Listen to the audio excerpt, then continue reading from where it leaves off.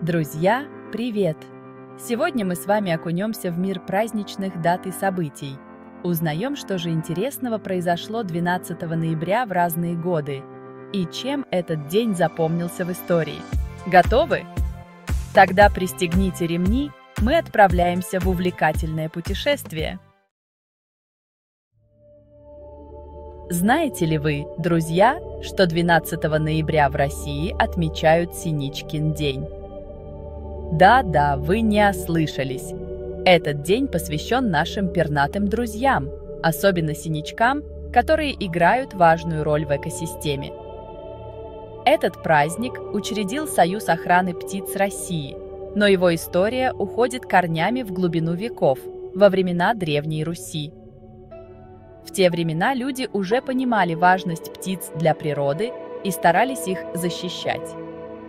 Наши предки верили, что именно к этому дню зимующие птицы, в том числе синички, прилетают ближе к человеческому жилью. Они считали, что птицы приносят с собой тепло и уют в дом, и поэтому старались создать для них комфортные условия. В этот день люди старались привлечь удачу и счастье, развешивая кормушки и угощая птиц разными вкусностями. Это не только помогало птицам пережить зиму, но и создавала особую атмосферу доброты и заботы. Сегодня мы продолжаем эту традицию, чтобы поддерживать баланс в природе и радовать наших пернатых друзей. А еще 12 ноября мы чествуем тех, кто стоит на страже нашего спокойствия и безопасности – Поздравления с профессиональным праздником принимают сотрудники ФСБ и ФСО, охранники, телохранители, все те, кто обеспечивает порядок и безопасность в нашей жизни. Кстати, учредил этот праздник в 2005 году крупнейший интернет-портал по безопасности СЭК. Вот такая история.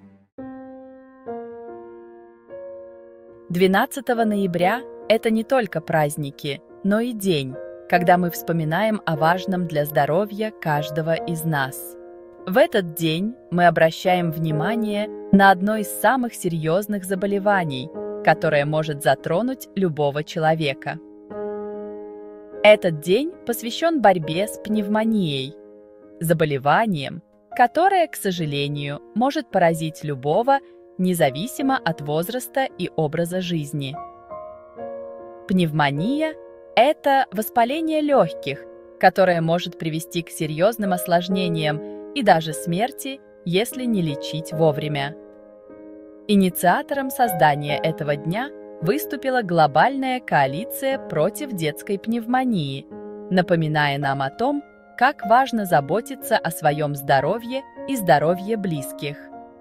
Эта коалиция объединяет усилия врачей, ученых и общественных организаций по всему миру, чтобы снизить заболеваемость и смертность от пневмонии. Важно помнить, что профилактика и своевременное лечение могут спасти жизни. В православном календаре 12 ноября День памяти святых мучеников Зиновия и Зиновии. Брат и сестра, с ранних лет впитавшие христианскую веру от своих родителей, посвятили жизнь борьбе с язычеством – их стойкость и вера были непоколебимы, и даже перед лицом смерти они не отреклись от Христа. В 285 году Зиновий и Зиновия были казнены за свою веру. 12 ноября 1803 года – важная дата в истории российской науки – в этот день произошло событие, которое оказало значительное влияние на развитие исторической мысли в России. В этот день Николай Михайлович Карамзин, выдающийся русский историк, писатель и общественный деятель, был назначен российским историографом. Это назначение стало важным этапом в его карьере и признанием его заслуг перед отечественной наукой – его многолетний труд «История государства российского» стал не просто летописью событий, но и глубоким исследованием российского общества, менталитета и культуры. Карамзин сумел создать произведение, которое до сих пор является важным источником знаний о прошлом нашей страны. Это назначение стало признанием его огромного вклада в развитие исторической науки.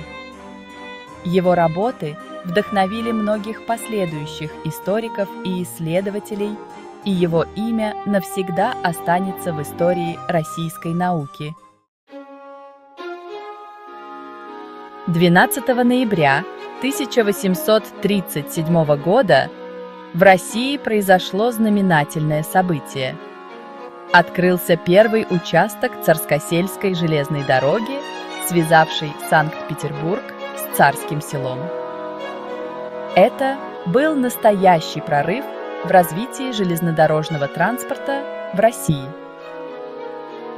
Открытие дороги стало грандиозным событием и толчком к дальнейшему развитию железнодорожной сети в стране. А знаете ли вы, когда был выполнен первый трюк в истории кино? Это произошло 12 ноября 1910 года. Каскадер совершил прыжок в реку с горящего воздушного шара, и это событие стало настоящим прорывом в мире кинематографа. Представляете, какими бесстрашными были люди уже тогда? 12 ноября 1917 года Зимний дворец в Петрограде, некогда резиденция российских императоров, был объявлен Государственным музеем. Это решение положило начало новой эпохи в истории дворца, превратив его в хранилище бесценных произведений искусства и культурного наследия. Сегодня Эрмитаж – один из крупнейших и знаменитых музеев мира, куда ежегодно приезжают миллионы туристов.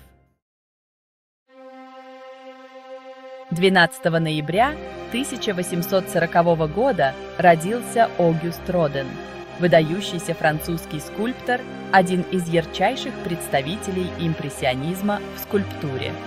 Его работы «Мыслитель», «Граждане Кале», «Поцелуй» давно стали классикой мирового искусства.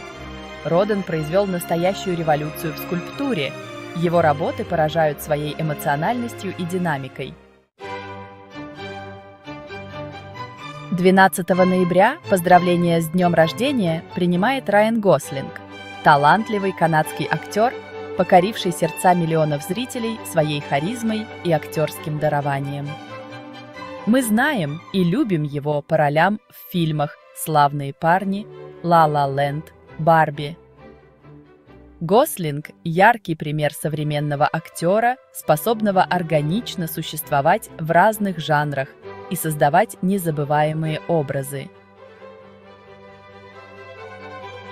И, конечно же, не могу не упомянуть, что 12 ноября отмечает день рождения и ваша покорная слуга Юлия Ковальчук.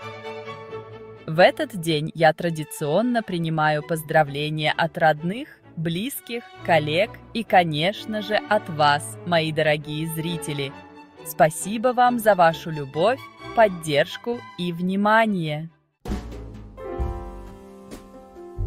А еще 12 ноября отмечают свои именины Анастасия, Елена, Герман, Иосиф, Максим и Марк. Не забудьте поздравить своих родственников, друзей и знакомых, носящих эти имена. Пусть этот день будет наполнен радостью, теплом и улыбками. Ну вот и подошло к концу наше сегодняшнее путешествие в мир дат и событий. Надеюсь, вам было интересно узнать, какие праздники отмечают 12 ноября. Не забывайте подписываться на наш канал, ставить лайки и делиться